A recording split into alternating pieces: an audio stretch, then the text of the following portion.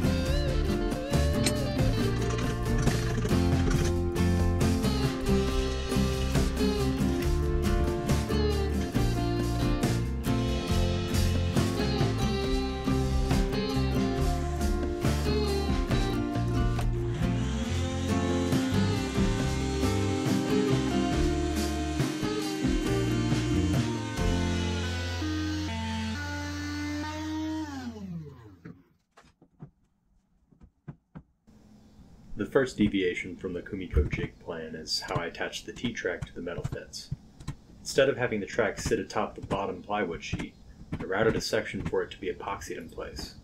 This reduced the material needing removal from the aluminum flat stock, and also dropped the Rockler stops so their profile was beneath the upper plywood sheet and out of the way of any workpiece. I also made the angled guides ride in their own T-tracks, and the design for this section updated a few times in order to cover up some retroactive mistakes. I may add a third track in the future dividing the distances between the two I already put in place, but if I were able to do it again, I would have made the two tracks closer in the first place.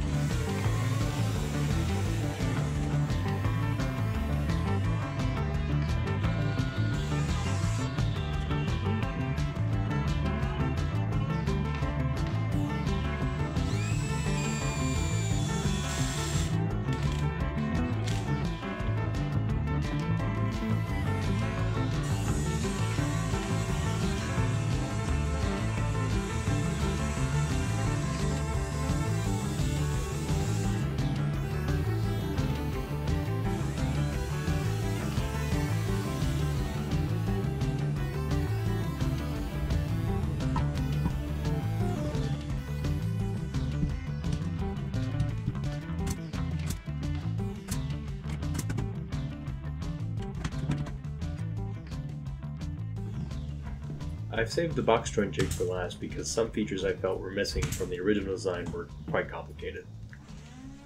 Adjustability and reusability were important to me, and my understanding of the original design seemed to force a new top jig for every pattern. You would have to get the cut locating pin the correct size and in the correct position the first try, and the face touching the workpieces would only help prevent blowout on the first pattern. To solve the former, the first step I took was to make the connection between the front half of the jig and the half clamping to the fence adjustable. So for that I used more of our favorite anodized aluminum track. This had the side benefit of allowing some play in how tightly the jig rode on the fence, but I still needed to pad extra space using some painter's tape.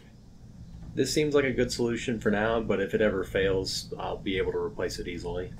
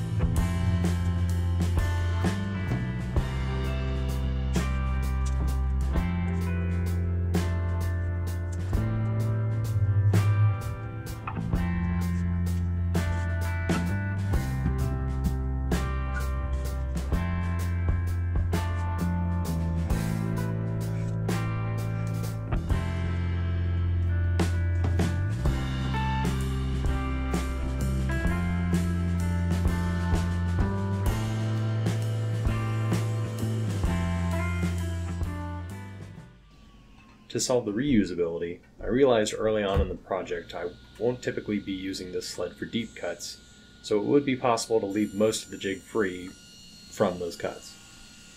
If I were to cut a half lap into the jig facing the fence above the height of all these cuts, and the opposing half lap in a sacrificial piece, it could be clamped down by the weight of the setup.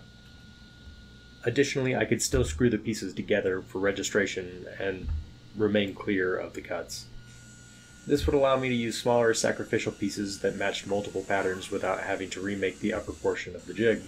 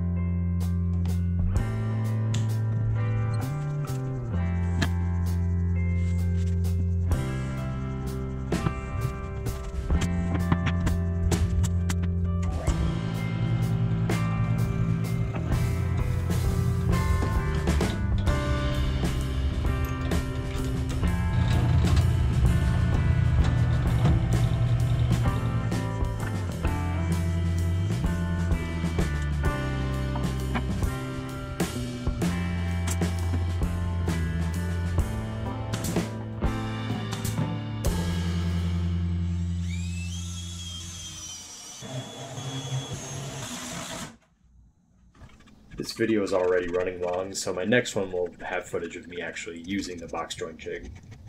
But for the Kumiko section, I need to plan a lot before I bust into that.